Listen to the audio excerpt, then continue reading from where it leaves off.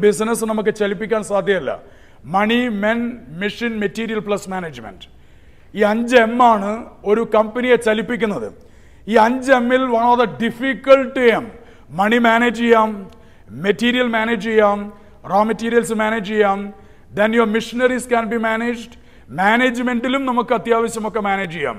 പക്ഷേ men management is difficult അതായത് people management is difficult മനുഷ്യന്മാരെ ഭരിക്കുക എന്നുള്ളത് one of the difficult task in the world മനുഷ്യന്മാരെ ഭരിക്കുക. കാരണം both of you are not same your personality your perception your emotions your motivation aspects are completely different താങ്കൾ വന്നിരിക്കുന്നത് ഒരു അമ്മയുടെ വയറ്റിൽ നിന്നാണ് താങ്കൾ വന്നിരിക്കുന്നത് ഒരു അമ്മയുടെ വയറ്റിൽ നിന്നാണ് your genetics are different your behaviours are different then എങ്ങനെയാണ് എനിക്ക് നിങ്ങൾ രണ്ടാളും ഒരുപോലെ മാനേജ് ചെയ്യാൻ വേണ്ടി പറ്റുക? Now you cannot do it because people are individually different individually different brain setup different ആണ് കാഴ്ചപ്പാട് ഡിഫറെന്റ് ആണ് ജെനറ്റിക്സ് ഡിഫറെന്റ് ആണ് രോഗം വരുന്നത് ഡിഫറെന്റ് ആണ് മരിക്കുന്നത് ഡിഫറെന്റ് ആണ് ജനിച്ചത് ഡിഫറെന്റ് ആണ്.